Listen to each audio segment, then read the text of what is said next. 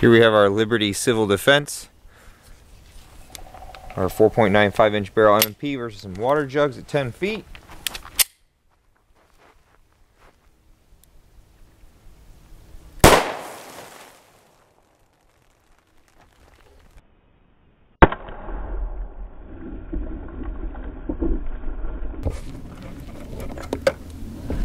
So here's our entrance on number one.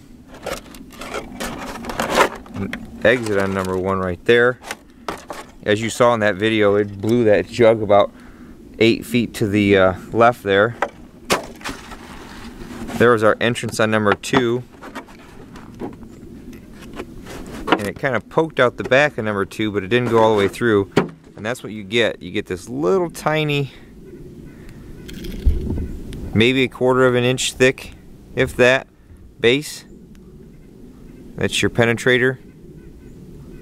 There's no shrapnel recovered from the rest of it in the water jugs.